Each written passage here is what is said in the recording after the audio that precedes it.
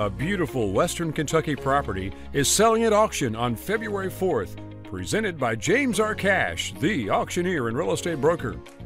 With 108 acres offered in 10 tracts, here's your opportunity to own part or all of this great countryside property near Symsonia in Graves County, Kentucky.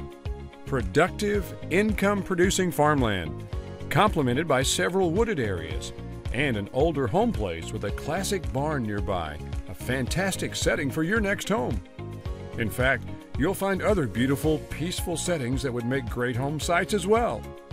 And there's lots of nice road frontage along Dooms Chapel Road and a long stretch of Highway 534.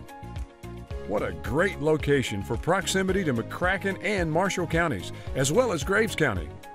108 total acres offered in 10 different tracts You'll have the chance to bid on one single tract, a combination of tracts, or the entire property.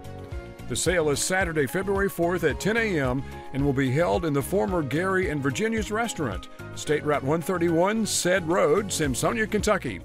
Conducted under the rhythm of the selling machine, James R. Cash, auction style.